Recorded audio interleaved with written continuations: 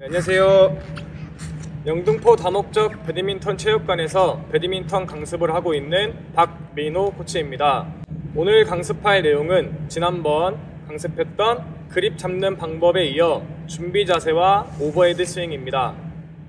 먼저 준비 자세에 대해 설명드리겠습니다. 양 발은 어깨 넓이만큼 서주신 다음 그립을 준비 그립으로 잡아주세요. 양손을 어깨 높이 정도로 들어서 이 라켓과 양손으로 삼각형을 만든다는 느낌으로 자세를 잡아주세요. 팔이 너무 좁지 않게 자세를 잡아주셔야 움직이기가 쉬워 스윙하기가 더 편합니다. 오버헤드 스윙을 하기 전에 먼저 손목 스윙 연습을 해보겠습니다. 어, 준비 자세에서 라켓을 위쪽으로 들어 주세요. 그립은 포핸드 그립으로 전환 후 라켓면을 정면이 되도록 손목을 살짝 열어 잡으셔야 합니다. 팔을 들었을 때 귀 쪽으로 붙이는 느낌이 아니라 한시 방향 정도로 들어 주시는 게 좋습니다. 손목까지 힘을 줘서 쭉 뻗는 느낌이 아니라 편하게 팔을 들어주세요. 자, 라켓을 그대로 뒤쪽으로 넘겼다가 앞쪽으로 스윙을 하시는데 어, 중요한 점은 라켓 끝이 손목에 부딪힌다면 잘못된 자세입니다. 앞쪽으로 스윙을 하실 때 라켓 끝이 손목 옆으로 지나가게 손목을 살짝 틀어주는 느낌으로 스윙하시는 게 좋습니다.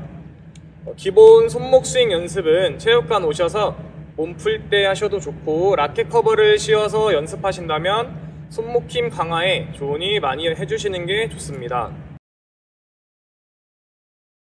먼저 세 구분 동작으로 연습해 보겠습니다. 첫 번째 자세는 자, 준비 자세에서 오른발을 뒤쪽으로 옮기면서 오른쪽 팔꿈치도 같이 뒤쪽으로 당긴다는 느낌으로 들어주셔야 합니다. 어, 몸은 정면이 아닌 어, 직각 방향으로 자세를 잡고 그립은 포핸드 그립으로 전환해 주세요. 이때 발끝이 앞을 보게 되면 어, 무릎이 구부러지지 않아서 중심을 뒤로 실을 수가 없습니다. 그렇기 때문에 발끝은 항상 직각이나 살짝 뒤쪽을 보게 하는 게 좋습니다. 뒤쪽으로 살짝 구부려 중심을 실어주세요.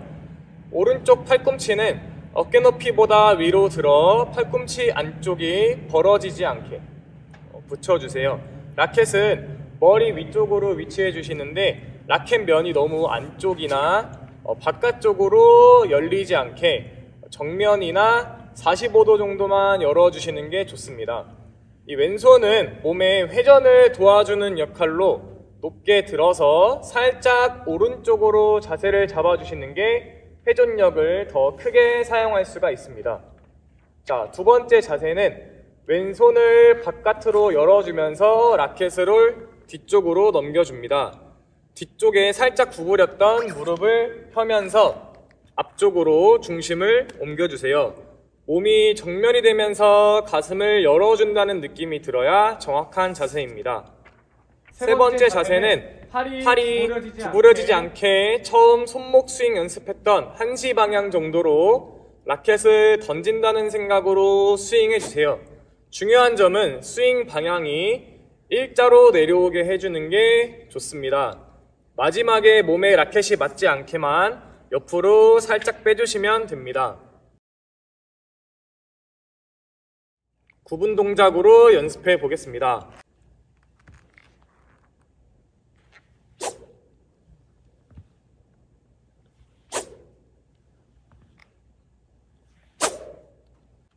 자, 구분 동작이 잘 되신다면 이세 동작을 두 동작으로 줄이겠습니다.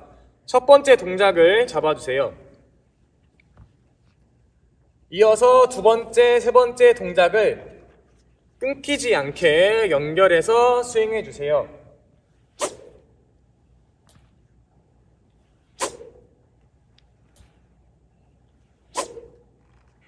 오버헤드 스윙을 연습하실 때는 어, 천장으로 라켓을 던진다는 느낌으로 팔이 쭉쭉 펴지게 연습하셔야 하고 어, 팔만 연습하시는 것보다는 이 몸 전체를 이용하여 중심 이동도 같이 연습하시는 게 더 강한 스윙을 만들 수 있습니다.